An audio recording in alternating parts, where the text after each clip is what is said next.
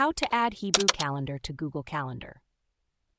If you're interested in keeping track of Hebrew holidays and dates alongside your regular calendar, you're in the right place.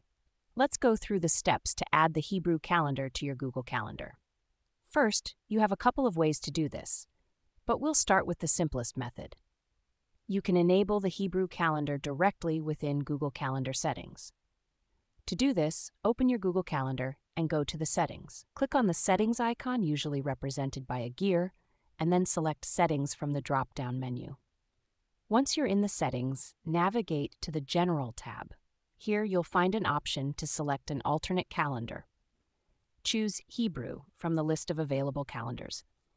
This will display Hebrew dates alongside the Gregorian dates on your calendar.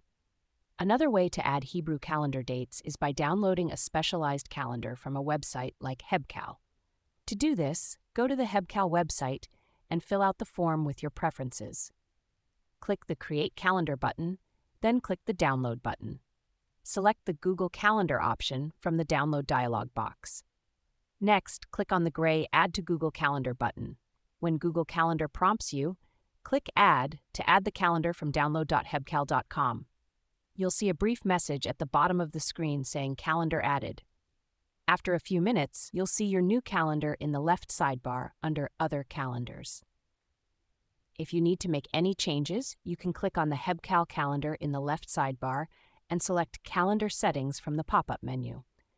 This way, you can customize how the Hebrew calendar appears on your Google Calendar. Adding the Hebrew calendar can be really helpful, especially if you want to keep track of important Jewish holidays and dates.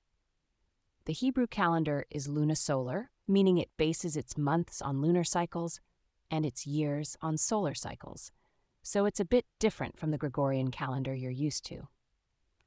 By following these steps, you'll be able to see both the Gregorian and Hebrew dates on your Google Calendar, making it easier to plan and stay connected with Jewish traditions and holidays.